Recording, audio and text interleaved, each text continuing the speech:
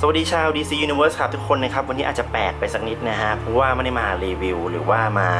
แกะกล่องของเล่นอะไรก็ตามนะครับ แต่ผมจะมาพูดถึงแฟนซีนอันหนึงฮะ ที่อยู่ในการระดมทุนของ Kickstarter โดยผู้ชายคนนี้ครับ ที่ชื่อว่าจอห์นบอยแลนด์นะครับ จอห์นบอยแลนด์เนี่ยเป็นแฟน Swamp Thing แบบตัวพ่อเลยนะ คือเขาเนี่ยเป็นผู้ที่ถูกบันทึกลงใน Guinness Book World Record ว่าเป็นคนที่สะสมของ เกี่ยวกับ Swamp Thing มากที่สุดในโลกครับ แล้วก็เป็นเจ้าของเว็บไซต์อย่าง roots of the swampthing.com ที่คนที่เป็นแฟน Swamp Thing น่าจะรู้จักนะฮะ แต่ทีนี้เขามีความฝันครับ John Boylan เนี่ยเขาอยากจะทำ fanzine ครับ fanzine นั่นก็คือสื่อสิ่งพิมพ์จากแฟนๆนะฮะ แต่ว่าเขาอยากจะทำเป็นแบบ fanzine ของโลกระดับ international เลยนะฮะ ก็คือสามารถแจกจ่ายให้กับแฟน Swamp Thing ทั่วโลกได้อ่านกันนะครับ นี่จะเป็นนิตยสาร Swamp Thing แฟนซีเล่มแรกของเขานะฮะผมที่ระดมทุนผ่าน Kickstarter ผมก็ไปช่วยระดมทุนมาด้วยนะฮะเพราะว่าผมก็เป็นแฟน Swamp Thing นะฮะแวบโอเคฮะ และนี่ก็เป็นรูปร่างซองส่งมาเป็นจดหมายนะ ส่งมาเร็วมากนะครับเพราะว่าเพิ่งอัปเดตมาว่า จัดส่งแล้วก็แป๊บๆก็มาถึงเลยนะฮะอะตัดซะก่อนนะครับ โอเคฮะนี่ก็เป็นแฟนซินของสวอมติงที่จอยบอยแลนด์นะครับทำมานะครับ ก็ชื่อว่า Holland Files นะครับ ก็ตามชื่อของ Swamp Thing คือ Alec Holland ข้อมูลของ Alec Holland ก็คือ Swamp Thing นั่นแหละ หน้าปกนะครับ วาดโดยลายเส้นของสจวตเดวิดนะครับผม International มาดูด้านหลังนะครับ ก็ตีพิมพ์นะฮะว่าเป็นของ roots of the swamp thing com แน่นอนฮะของเจ้าของเว็บเขานะฮะอะกระดาษหน้าปกเนี่ยก็บางๆครับ มันบางแบบว่า บางแบบว่าห้ามโดนน้ำเลยเหมือนกระดาษชีตรายงานที่เราใช้อ่านกันในสมัยก่อนนะฮะ โอเค พอเราเปิดเข้ามาแต่กระดาษด้านในเนี่ยอย่างดีนะเป็นกระดาษมันดีมากนะครับโอเคสารบบันนะฮะก็มีบทความนะฮะมีบทสัมภาษณ์ แล้วก็มีส่วนที่เป็นแฟนๆเขาเขียนมานะครับ รวบรวมมานะครับ ภาพวาดด้านในนี่ก็เป็นภาพวาดของทิมบารอนนะครับน่าจะเป็นแฟนสวอมติงเหมือนกันนะฮะบทความนี้คนที่มาเขียนนี่ก็จะแบบว่าเป็นคนที่แบบว่าอยู่ในแวดวงของการทำ encyclopedia หรือว่า research เรื่องตัวซูเปอร์ฮีโร่อยู่นะครับ อย่างเช่น Rich Handley เนี่ยก็เป็นคนที่เขียน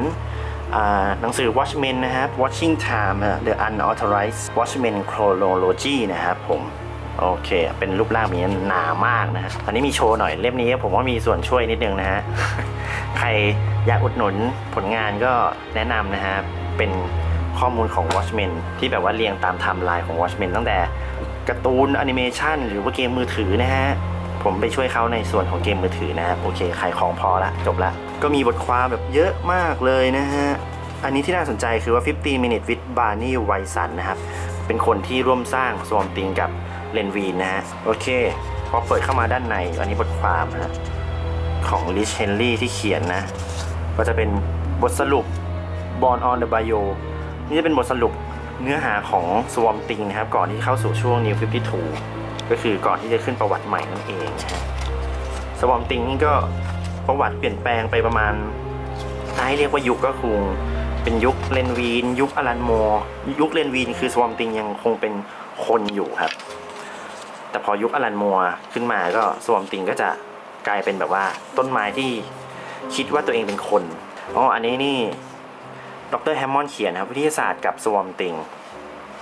มีแบบมีวาดภาพเกี่ยวกับต้นไม้เลยนะความเป็นไปได้ที่ Swarm Thing จะ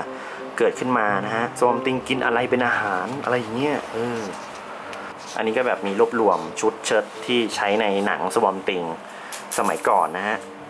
ที่ Wes Craven เป็นคนถ่ายทำนะ Wes Craven ก็เป็นผู้กำกับ Scream แล้วก็ให้กำเนิด Freddy Krueger